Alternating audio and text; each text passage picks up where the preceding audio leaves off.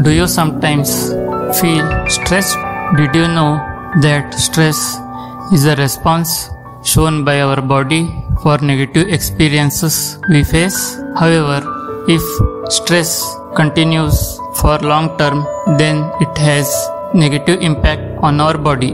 In this video, let's see how stress in long term affects digestive system, mind, muscles and skin. Let's begin. Number 1. Effect on digestive system. As we saw in previous video that long-term stress causes damage to blood vessels. As a result, blood flow to digestive system reduces, causing harm to digestive system.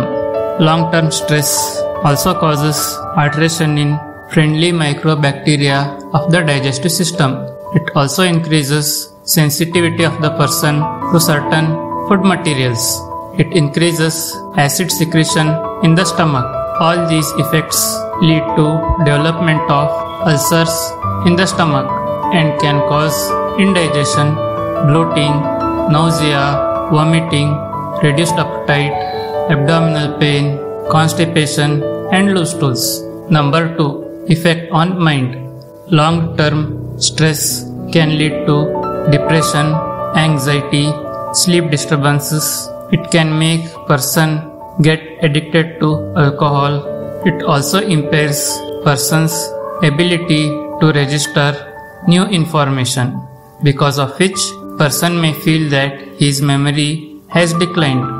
Not only these, long-term stress also can kill brain cells and it can even reduce the size of the brain. Shocking, right? Number 3. Effect on muscles. When there is stress, muscles become tense.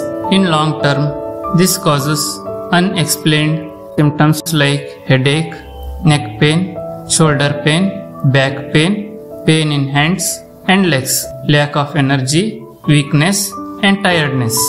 Number 4. Effect on skin. Long term stress can lead to acne and psoriasis. It can also cause premature aging due to breakdown of collagen resulting in wrinkles on skin.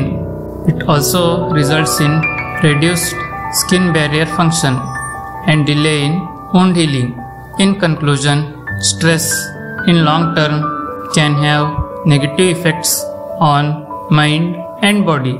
In next video, let's look at how to manage stress. Thank you for watching the video.